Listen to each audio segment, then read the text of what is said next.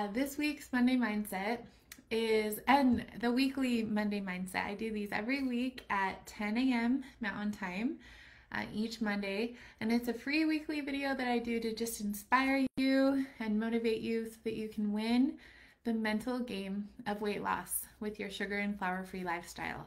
And today we're going to be talking about why it is so easy to regain weight after weight loss and how to lose weight for the last time so that you don't have that result.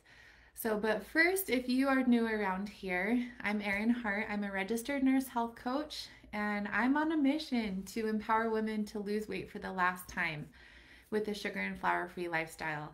In my Year of You program, I guarantee that you achieve your goal body within a year, or I coach you for free until you do. So, if you're interested in learning more about how to achieve your goal body in 2024, be sure to join my free challenge that will be happening December 27th through the 30th, 2023. So, it's from 11 a.m. to noon Mountain Time each day, and it's a virtual event on Zoom. Uh, I'm going to be teaching the success framework that I teach in my coaching program for free to help and inspire you as you create your New Year's resolutions for 2024. The success framework that I the success framework that I teach is how to master your mindset uh, in weight loss, how to develop a winning weight loss strategy, and how to consistently execute your plan, how to actually make yourself do it this year. So, we're going to go into depth on all of those subjects so that you can give your goals some rocket fuel for the new year.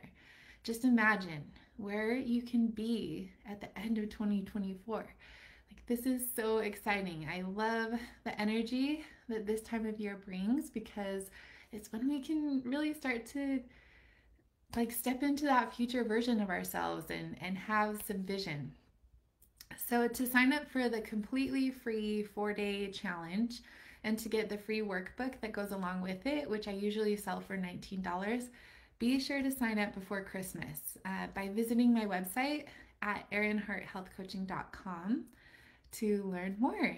So, I can't wait to see you there. It's going to be so fun and motivating.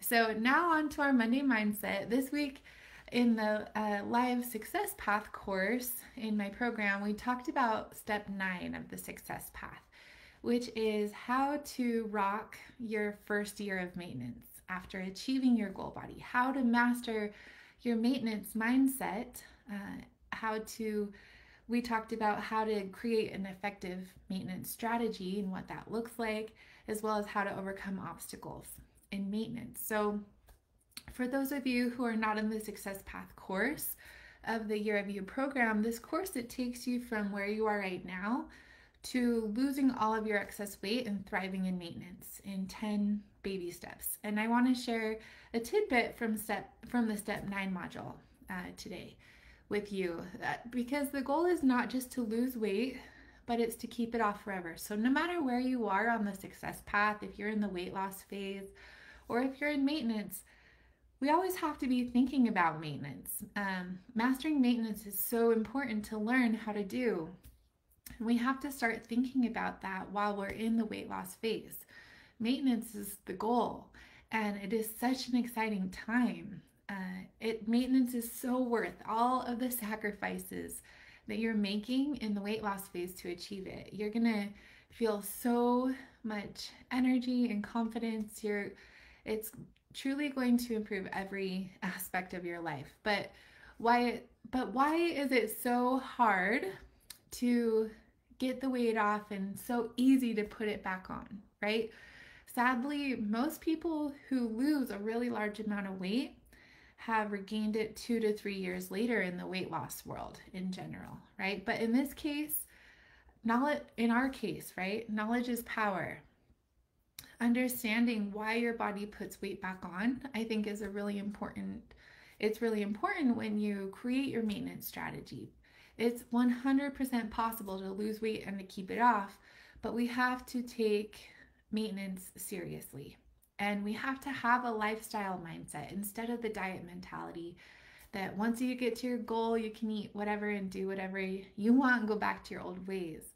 That's not going to turn out well for you. That's why most people regain their weight. So when you get to maintenance, nothing changes and everything changes. Your life will be positively impacted in every way.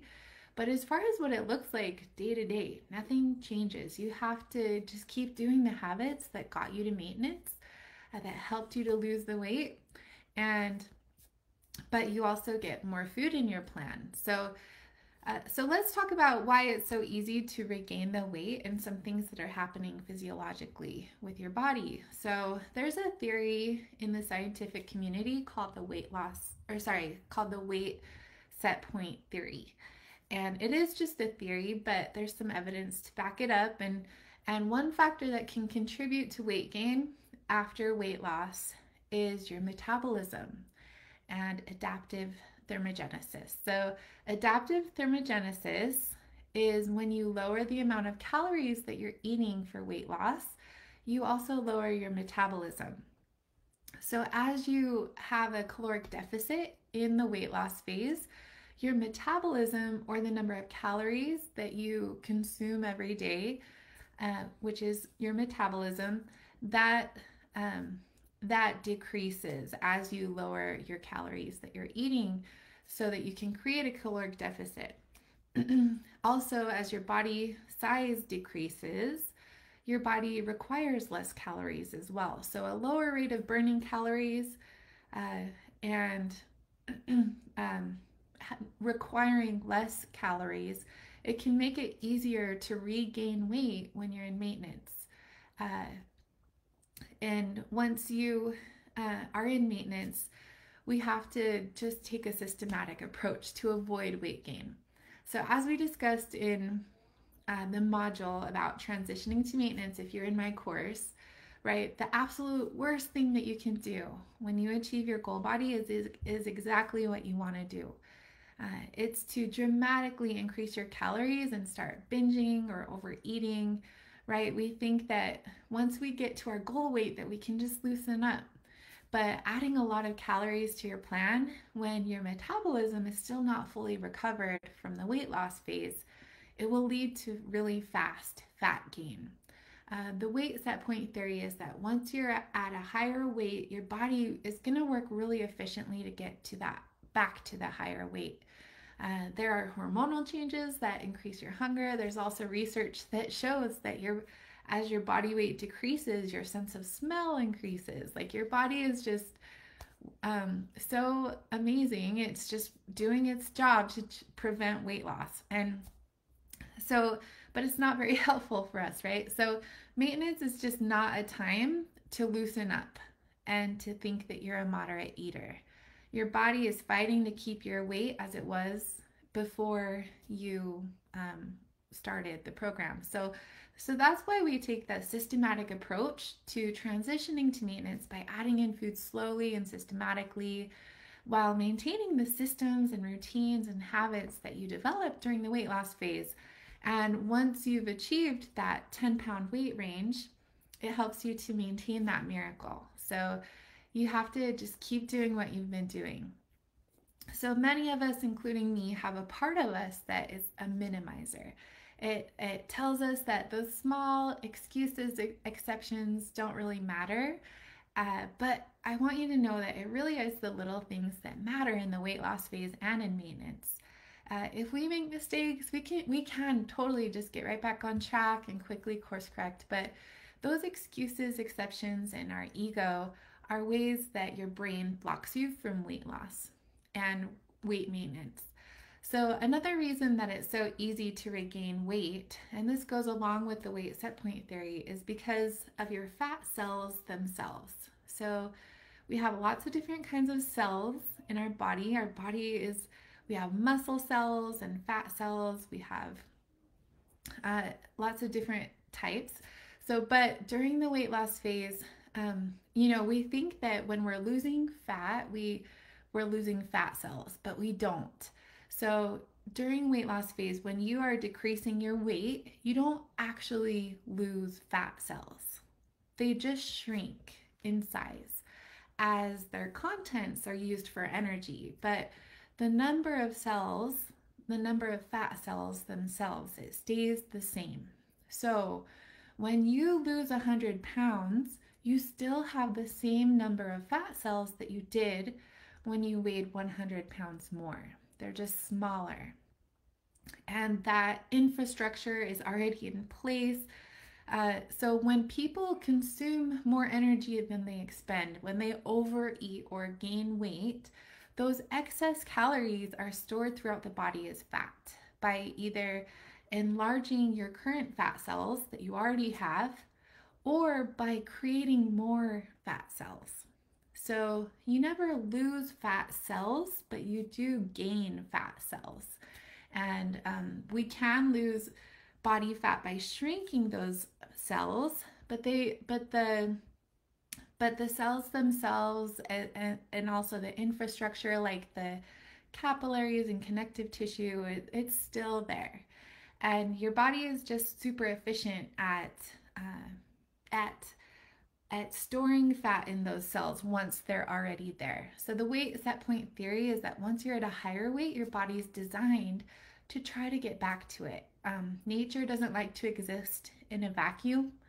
Uh, so once the infrastructure is there, your body it just works really efficiently to store fat in those existing cells.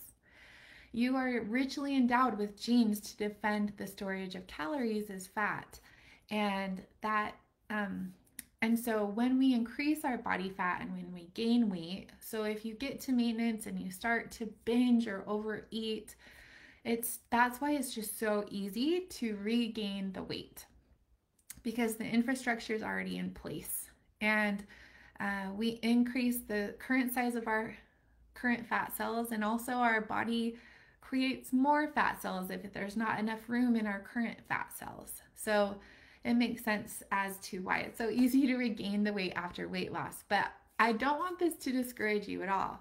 Um, I really think that knowledge is power in this case because t- so take heart. It really is possible to win the battle of weight loss and to maintain it forever.